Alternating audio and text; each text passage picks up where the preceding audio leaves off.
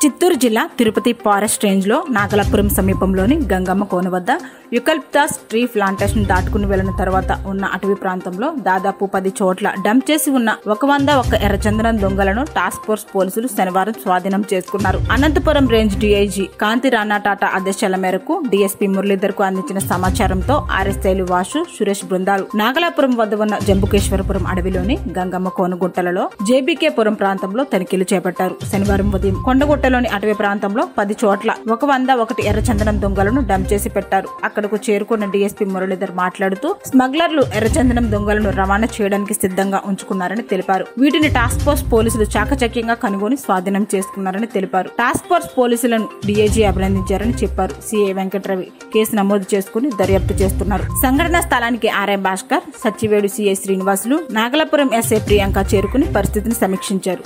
Morning మొత్తం search చేస్తే దాదాపు ఒక టెన్ కిలోమీటర్స్ మా వాళ్ళు నడిచి ఆ ఏరియా అంతా సెర్చ్ చేయడం జరిగింది. దాంట్లో కొన్ని ఈ దుంగలన్నీ కూడా భూమిలో పూడ్చిపెట్టి పైన ఆకులన్నీ వేయడం కూడా జరిగింది. చిన్న చిన్నగా కట్ చేసి పెట్టడం వలన అవి ఈజీగా లో భూమిలో బాతడానికి వీలైంది.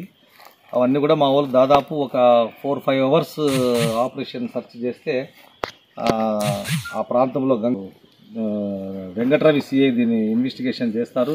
ఒక ఛాలెంజ్గా తీసుకున్నాం దీన్ని. మరి ఈ విషయాలన్నిటిని కూడా మా in-charge Anantapuram DIG sir Shri Rana sir Tata Rana sir Kanti Rana sir Tata Rana sir అధ్యయనంలో ఇదంతా ఆపరేషన్ జరిగింది. వారికి ఇన్ఫార్మ్ చేయడం కూడా జరిగింది. సారు కొన్ని సూచనలు కూడా చేశారు.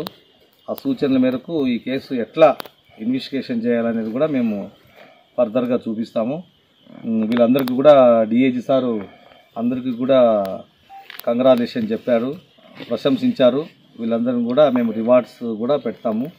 ఇటువంటివి జరుపుకోకుండా ప్రభుత్వ ఆదాయానికి గండి కొట్టుకోకుండా చర్యలు తీసుకోవడానికి red sandal anti smuggling task force ముందు ముందు ఇంకా గట్టి చర్యలు తీసుకుంటాం.